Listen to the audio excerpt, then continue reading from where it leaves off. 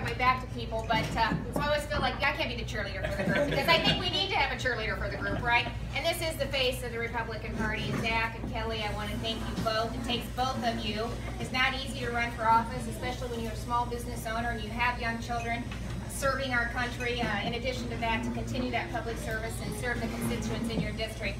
So thank you for doing that. We really, really appreciate it. And Zach's right. We have a great story to tell. We are a state that's reducing taxes and red tape.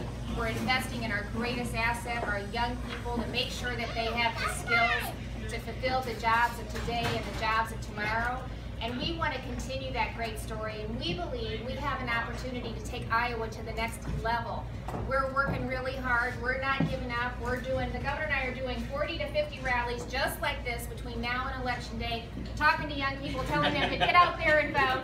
You do make a difference. It really is important. And if we're going to take Iowa to the next level, we have to make sure that we re-elect great public servants like Zach so that we maintain the majority in the House. And we have an opportunity year to take back the majority in the state Senate. They pass a lot of great legislation over to the Senate, and it doesn't even get debated.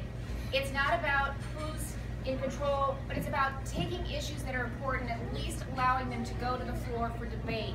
And we need, we need leadership in the Iowa Senate that would allow that to happen so that we can continue to reduce regulations and red tape on small businesses just like this so that they can grow and flourish, hire Iowans, grow the economy and give back to their community. And that's what small businesses do all across the state, day in and day out. So we're just asking to uh, stay engaged, talk to your neighbors, talk to your family, friends, talk about what's important, encourage them to get out there and make a difference uh, and participate in this election. So we're not going to let up. We believe it's worth it. And uh, just thanks for the opportunity to serve uh, not only you, but to serve this great state. Uh, the governor usually says so. We're not done yet. We've got a lot of great things that we want to continue working on. And uh, we're hoping by having the opportunity to have Zach back there to work with us, we're looking forward to those opportunities. So thanks.